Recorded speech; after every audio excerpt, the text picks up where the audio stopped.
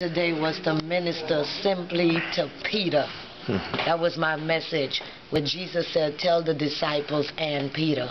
And I came for Peter. While we thank God for a message that reaches the masses, we have one message for the man.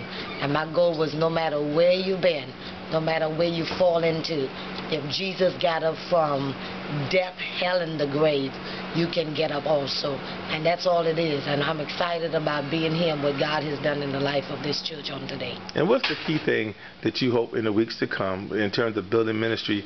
You want to like Bible studies or to meet with folks, go to the neighborhood? Live and live in color. We'll be in the community. We'll be in church. We'll be doing what Jericho has been doing all in its, in its existence. And that is reaching the masses with the gospel of Jesus Christ.